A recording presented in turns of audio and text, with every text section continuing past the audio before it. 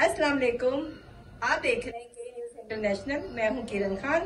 चलते हैं आज की अहम खबरों की तरफ़। रुक करेंगे साहिवाल का जहाँ से रिपोर्ट कर रहे हैं हमारे नुमाइंदे अली रजा।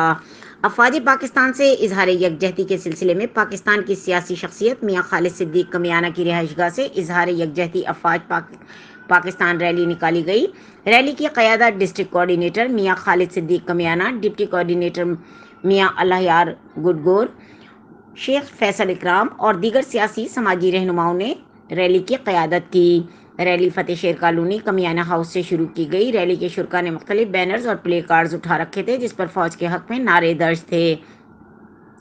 रैली शहर के मुख्तलिफ़ इलाकों से होती हुई कब्रस्तान मायशा कैप्टन उस्मान शहीद के मज़ार पर अख्ताम पजीर हुई। इस मौके पर मुकर्रीन ने खिताब करते हुए कहा कि अफवाज पाकिस्तान हमारे माथे का झूमर है।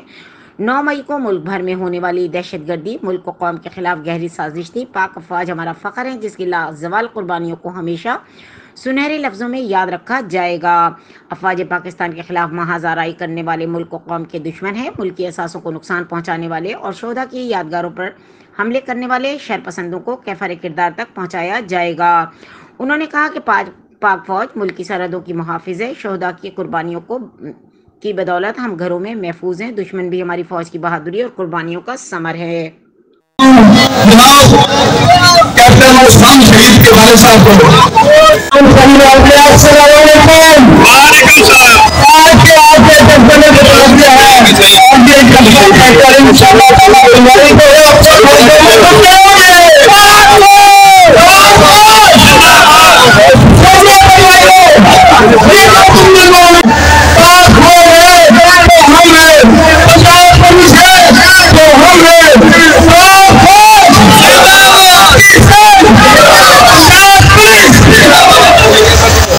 ਕਿ ਇੱਕ ਮੁਲਕ ਵਾਸਤੇ ਇਸ ਧਰਤੀ ਵਾਸਤੇ ਇਸ ਧਰਤੀ ਵਾਸਤੇ ਸਾਡਾ ਸਭ ਕੁਝ ਕੁਰਬਾਨ ਹੈ ਤੇ ਤੁਸੀਂ ਉਹਨਾਂ ਦੀ ਬੇਹਰਮਤੀ ਕਰਦੇ ਹੋ ਤੁਹਾਡੀ ਮੈਨੂੰ ਤਾਂ ਅਜੇ ਤੱਕ ਨਹੀਂ ਸਮਝ ਆ ਰਹੀ ਇਹ ਹਲਾਲ ਦੇ ਨੇ ਕਿ ਹਰਾਮ ਦੇ ਨੇ ਜਿਹੜੇ ਆਪਦੇ ਪਾਕ ਫੌਜ ਦੇ ਉਹ ਤੁਸੀਂ ਪਹਿਲੇ ਸੋਚੋ ਤਾਂ ਸਹੀ ਤੁਸੀਂ ਪੈਦਾ ਵੀ ਨਹੀਂ ਹੋਏ ਸੋ ਰੋਜ਼ਾਨਾ 5 6 ਸ਼ਹਾਦਤਾਂ ਅਜੇ ਵੀ ਤੁਹਾਡੇ ਵਾਸਤੇ ਹੁੰਦੀਆਂ ਨੇ ਤੁਹਾਡਾ ਨਾ ਅੱਗਾ ਨਾ ਪਿੱਛਾ ਨਾ ਤੁਹਾਨੂੰ ਕੋਈ ਪਾਲਣ ਵਾਲਾ ਇਹਨਾਂ ਸਾਰਿਆਂ ਦਾ ਪਤਾ ਕਰ ਲਓ ਕਿ ਇੱਕ ਵੀ ਹਲਾਲ ਦਾ ਹੋਵੇ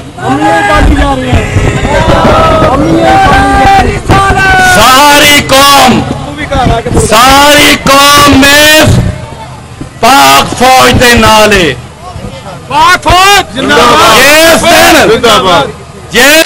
मजीद खबरों और अपडेट्स के लिए हमारे साथ रहिएगा तब तक अपना ख्याल रखिएगा। अल्लाह हाफिज।